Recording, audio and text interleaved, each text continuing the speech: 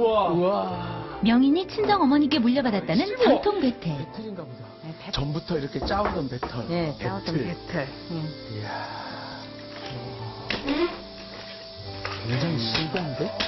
음. 이 실이 다 저기서. 이 기계가 배틀인 거죠? 예, 이게 오래돼 보여요, 이게. 이게 네. 되기는 오래 안 됐어요. 한 음, 이걸 20년 됐어요. 만든 지가 왜냐면, 새로 예, 만드신 것 같아요. 예, 그 음.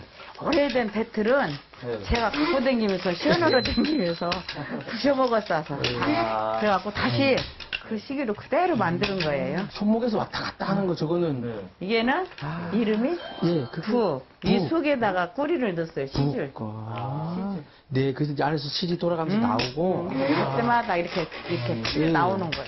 이, 이 대나무 뭐 이렇게 주렁주렁 달린 거. 이거 주렁주렁 달린 거 네. 이거는 잉어대. 잉아떼? 예, 잉어대. 잉어대 노래도 있잖아요. 예. 배틀과 노래에 나오는 그 잉어떼. 예, 예. 잉어떼는 삼형제. 예, 잉어대는 잉어떼는 삼형제인데 우리 영감님 어디를 가셨나 뭐 이런 노래 이거 옷 만들 만큼 자르면 얼마나 걸릴지 얼마나 걸려요? 이렇게 다 네, 한 정확하게. 열흘은 짜야 돼요. 열을 자 네. 이렇게 계속이요 네. 하나도 안 쉬고요? 그냥 예, 안 쉬고. 아유, 야. 어머니 예? 이렇게 배만 짜면 힘들잖아요 예. 그래서 배틀가가 있어요, 배틀가. 그, 그, 저랑 한번 해볼까요? 이 배를 짜서 누구를 주 나, 발이 칠손 눈물이 나네. 와, 에요, 배 짜는 아가씨. 아!